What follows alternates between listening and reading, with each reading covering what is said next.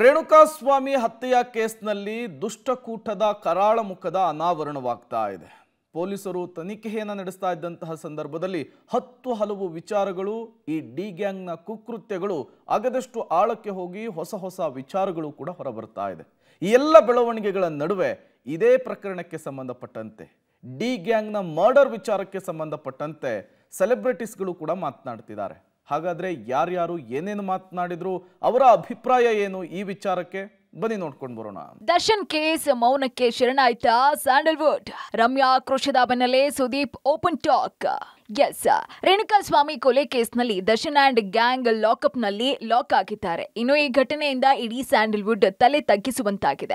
ಈ ಬಗ್ಗೆ ಸೋಷಿಯಲ್ ಮೀಡಿಯಾದಲ್ಲಿ ಭಾರಿ ಚರ್ಚೆ ಆಗ್ತಾ ಇದ್ರು ಕೂಡ ಚಂದನವನ್ನ ಇವತ್ತಿಗೂ ಕೂಡ ದಿವ್ಯ ಮೌನಕ್ಕೆ ಶರಣಾಗಿದೆ. ಆದರೆ ಇದೀಗ ಘಟನೆ ಕುರಿತು ಇವತ್ತು ದೊಡ್ಡ ಆಕ್ರೋಶದ ಧ್ವನಿ ಬಂದಿದೆ. ಆ ಧ್ವನಿಯೇ ಕಿಚ್ಚ ಸುದೀಪ್ ರತು ಹೇಳ್ತೀನಿ ಕೇಳಿ, ನಾವು ಯಾರು ಕಾನೂನು ಅಲ್ಲ ಸರ್. ನಾವು ಬ್ಯಾನ್ ಆಗ್ಲಿ, ಇನ್ನೊಂದಾಗ್ಲಿ ಮಾಡಕ್ಕಾಗಲ್ಲ. ಕೇಸಿಂದ ಹೊರಗಡೆ ಬಂದ್ರೆ ನಿಮಗೆ ಬ್ಯಾನ್ ಅನ್ನೋದು ಬರೋದೇ ಇಲ್ವಲ್ಲ. ಬ್ಯಾನ್ ಅನ್ನೋದು ಇಂಪಾರ್ಟೆಂಟ್ ಅಲ್ಲ. More important here is justice ಇಲ್ಲಿ ಏನಾಗುತ್ತೆ, ನೀವು ಚೇಂಬರ್ ಅಲ್ಲಿ ನಮ್ಮ ಸ್ನೇಹಿತರು ಕೂತಿದ್ದಾರೆ, ಹಿರಿಯರು ಕೂತಿದ್ದಾರೆ. ಎಲ್ಲರೂ ಹೋಗಿ ಅವ್ರ ಮೇಲೆ ಒತ್ತಡ ಹಾಕಿದಾಗ ಏನ್ ಹೇಳಕ್ಕಾಗತ್ತೆ ಅವರಿಗೆ? ಬ್ಯಾನ್ ಅನ್ನೋದು ನಮ್ಮ ವರ್ಡ್ ಅಲ್ಲ. ನಮ್ಮೆಲ್ಲರ್ಕಿನ್ನ ನೋವು ಪಡೆದಂತ ವ್ಯಕ್ತಿಗಳು ಕುಟುಂಬದವ್ರು ಹೊರಗಡೆ ಇದಾರಲ್ಲ ಕಾನ್ಸಂಟ್ರೇಷನ್ ಅಲ್ಲಿ ಎಸ್ ಸಂವೇದನಾಶೀಲ ನಟ ಕಿಚ್ಚ ಸುದೀಪ್ ಘಟನೆಯನ್ನ ಅವಲೋಕಿಸಿ ಮಾತನಾಡಿದ್ದಾರೆ.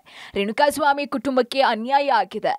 ಹುಟ್ಟುವ ಮಗು ಪತ್ನಿಯನ್ನ ಕಳ್ಕೊಂಡಂತಹ ಸ್ವಾಮಿ ಪತ್ನಿಗೆ ನ್ಯಾಯ ಸಿಗೋದೇ ಪ್ರಥಮ ಆದ್ಯತೆ ಎಂದಿದ್ದಾರೆ. ಹೀಗಾಗಿ ಇಲ್ಲಿ ನಟನೋ, ಗೆಳೆಯನೋ ಇಂಡಸ್ಟ್ರಿಯವನೋ ಅನ್ನೋದಿಲ್ಲ, ಮುಖ್ಯ ಆಗೋದಿಲ್ಲ ಅನ್ನೋದು ಸುದೀಪ್ ಮಾತಿನ ತಾತ್ಪರ್ಯ. ಈ ಮೂಲಕ ದರ್ಶನ ಪ್ರಕರಣವನ್ನ ತೀವ್ರವಾಗಿ ಸ್ಪಷ್ಟವಾಗಿ ಖಂಡಿಸಿದ್ದಾರೆ. ಮಾಧ್ಯಮದವರು, ಪೊಲೀಸ್ ಸಿಬ್ಬಂದಿಗಳು ಕರೆಕ್ಟ್ ಆಗಿ ಕೆಲಸ ಮಾಡ್ತಾ ಇದ್ದೀರಾ ಅಂದಾಗ ನನಗೆ ಬೇಕಾಗಿರೋದು ಒಬ್ಬ ಕಾಮನ್ ಮ್ಯಾನ್ ಆಗಿ, ಕಲಾವಿದರ ಹೆಸರಾಗಿ ಇನ್ನೊಬ್ಬರ ಹೆಸರು ಬರಲ್ಲ ಸರ್. ನಾವು ಅವ್ರ ಪರ, ಇವ್ರ ಪರ ಅಂತ ಮಾತಾಡೋದು ತಪ್ಪಾಗುತ್ತೆ. ವಿರುದ್ಧವಾಗಿ ಮಾತಾಡೋದು ತಪ್ಪಾಗುತ್ತೆ.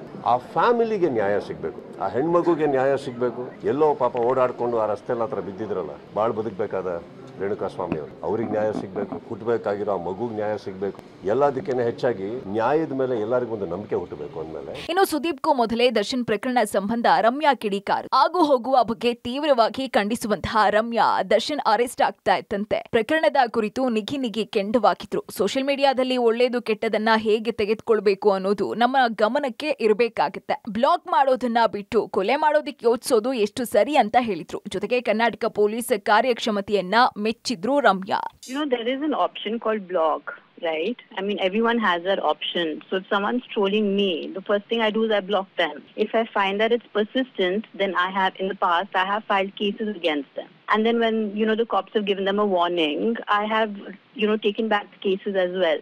And he campaigned for a couple of candidates in the last election. All of them lost. So I don't think, you know, just because you see 20, 30 people standing outside the police station and things like that, it doesn't mean he has the kind of clout that, yes, they're notorious. They're like literally rowdy elements, so you can call them that. So maybe that's why they grab everyone's attention.